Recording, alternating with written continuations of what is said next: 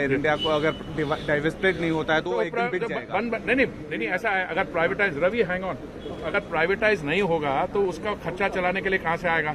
पहले हम लोग सरकार के पास जाते थे वित्त मंत्री मंत्रालय जाते थे पैसे लेने के लिए उसको जो ऑपरेटिंग लॉस है उसको मेकअप करने के लिए।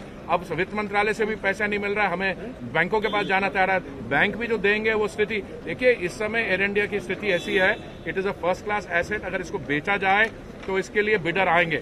अगर हम लोग ये आइडियोलॉजिकल पोजीशन ले लें कि नहीं इसको नहीं बेचना है तो उसको चलाना मुश्किल पड़ जाएगा बात पायलटों और एम्प्लॉयज़ की भी ज़िक्र किया मैंने कहा कि we are committed to getting them fair deal but ऐसा है कि इसमें जो 11000 हज़ार एम्प्लॉयज़ 4000 कॉन्ट्रैक्ट पे हैं, वो तो एक तरफ़ रखिए, बाकी जो है, उसमें बड़े ट्रेंड इंजीनियर्स हैं पायलट्स हैं, जो भी उस एयरलाइन को अक्वायर करेगा, उनको भी ऐसे टैलेंटेड और एक्सपीरियंस लोगों की ज़रूरत होगी।